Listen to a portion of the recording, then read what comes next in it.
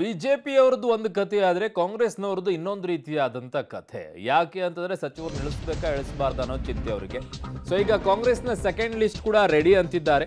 ಕಾಂಗ್ರೆಸ್ ಚುನಾವಣಾ ಸಮಿತಿ ಸಭೆಯಲ್ಲಿ ಹದಿನೈದು ಕ್ಷೇತ್ರಗಳು ಕ್ಲಿಯರ್ ಆಗಿದೆ ಅಂತ ಹೇಳ್ತಾ ಇದ್ದಾರೆ. ಇದೇ ವಾರ ದೆಹಲಿಗೆ ಮುಖ್ಯಮಂತ್ರಿಗಳು ಮತ್ತು ಉಪಮುಖ್ಯಮಂತ್ರಿಗಳು ತೆರಳಲಿದ್ದಾರೆ.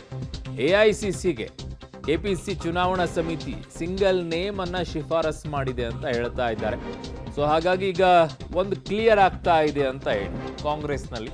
ಹದಿನೈದು ಕ್ಷೇತ್ರಗಳು ಈಗ ಕ್ಲಿಯರ್ ಆಗ್ತಾ ಇವೆ ಅನ್ನುವಂಥ ಮಾಹಿತಿಗಳು ಬರ್ತಾ ಇದೆ. ಸೊ ಇದೇ ವಾರ ದೆಹಲಿಗೆ ಮುಖ್ಯಮಂತ್ರಿಗಳು ಹಾಗೂ ಉಪಮುಖ್ಯಮಂತ್ರಿಗಳು ತೆರಳುತ್ತಾರೆ ಸೊ ಫೈನಲ್ ಕೂಡ ಆಗತ್ತೆ ಅಂತ. ಆಗಿದೆ, ಹೆಚ್ಚು ಕಮ್ಮಿ ಎಲ್ಲ ಚರ್ಚೆ ಮಾಡಿದ್ದೀವಿ. ಎಲ್ಲ ಹೆಸರುಗಳನ್ನ ಕೆಲವು ಸಿಂಗಲ್ ನೇಮ್ ಆಗಿದೆ, ಕೆಲವು ಪ್ಯಾನಲ್ಲು ಇದೆ. ನಾನು ವರ್ಕಿಂಗ್ ಕಮಿಟಿಗೆ ಚೀಫ್ ಎಲೆ ಸೆಂಟ್ರಲ್ ಎಲೆಕ್ಷನ್ ಕಮಿಟಿಗೆ, ಅವರು ಯಾವತ್ತು ಬೇಕಾದ್ರೆ ಕರಿಬೋದು. ಹದಿನಾಲ್ಕು ಕರಿಬೋದು, ಹದಿನೈದು ಕರಿಬೋದು. ಏಕೆಂದರೆ ಇವತ್ತು ಅಲ್ಲಿ ನಡೀತಾ ಇದೆ. ನಾವಿಲ್ಲಿ ಮುಗಿಸಿದ್ದೀವಿ ಆಲ್ಮೋಸ್ಟ್ ಎಲ್ಲ ಕ್ಯಾಂಡಿಡೇಟ್ ಮುಗಿಸಿದ್ದೀವಿ ಸೊ ಹದಿನಾಲ್ಕು, ಹದಿನೈದು ಯಾವ ಕರೀತಾರೆ, ನಾನು ಚೀಫ್ ಮಿನಿಸ್ಟ್ರು ಇಬ್ಬರು ಆ ಸಭೆಗೆ ಹೋಗ್ತೀವಿ. ಹೋಗಿ ಫೈನಲ್ ಮಾಡ್ಕೊಂಡು ಬರ್ತೀವಿ.